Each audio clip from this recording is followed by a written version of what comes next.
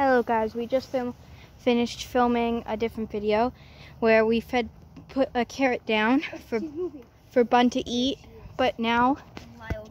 I'm stuck in the mud. we're watching Bun eat the carrot. You got this. We're not super close, you guys, so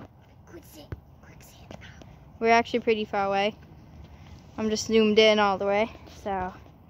Eat. Okay, can this mud Is that a yummy carrot bun? Oh, come on, stop going blurry. I'll shoot them.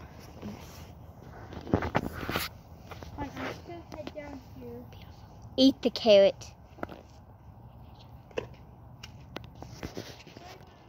Ash, stand on the block right there so you get you're a bit closer. Bun's eating the yummy carrot. Yeah. That yummy carrot bar? Do you like it? Do you want one tomorrow? Because we could give you one. Well, guys, we probably have to end the video here. It's going to be a bit short, but bye, guys. Bye.